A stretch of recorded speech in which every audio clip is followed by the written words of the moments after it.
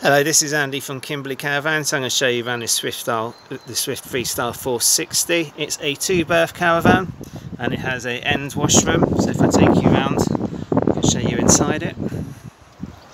So first of all we have a front lounge with two side facing settees which convert to make a large double bed.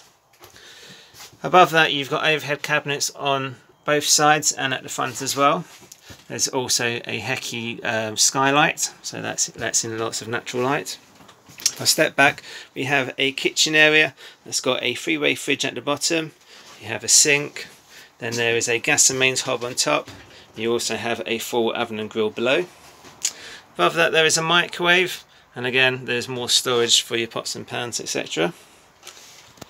Go to the rear of the caravan, you have a nice spacious washroom. It's got a separate shower which is larger than most. And then you also have a wash basin and a electric flush cassette toilet. There's also a wardrobe in here and a uh, cabinet for storing your um, cosmetics etc. If you're interested in viewing this caravan you can contact us on 0115 938 2401.